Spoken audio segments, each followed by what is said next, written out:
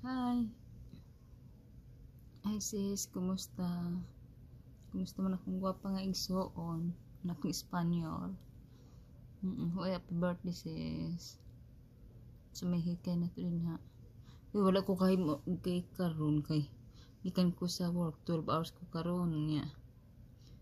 Gikapoy ko eh dinagdagan sa akuan. Ako, sa kung linya ako raman usa bali. Hmm. Niya. O kahit sa number niya 5 kay 560 ka parts akong himuon. Nibalibad ko sa supervisor ako di ginan nga dili na ako makayag. Gamay ra kong nahuman.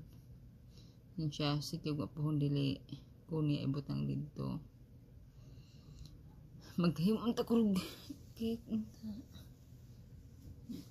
Marag Trisama parang pretend ako kapoy ha.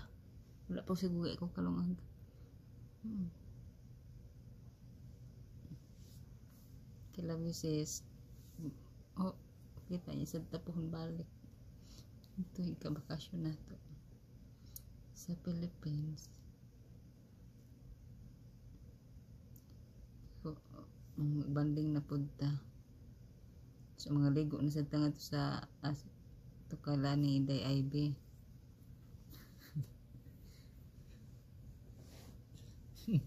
Kaya nandun ko na yung mga pagkakita ala. Diretso biyag kuan. Langoy. Mm, I miss you sis. Okay, happy birthday. Ayaw palawig stress-stress kay ang beauty, ang wrinkles, mahal ra ba kayo? Pakuan sa kunot ka ng mga cream.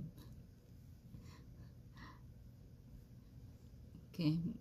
Sige lang kay mas bata pa man kuan. Gusto kay mas bata pa man imuhang naong kun para nako ako daghan kay kung kunot na. Alay char nagdigdag jud sila silang kuan. Hindi sila ra jud sila sila nagdigdag jud silang duha. May lingaw sa kuy kuan. Ako YouTube. YouTube. Hoy, nang magbalita ulit tayo, di ba, kay COVID man di ko itong last two weeks or three weeks.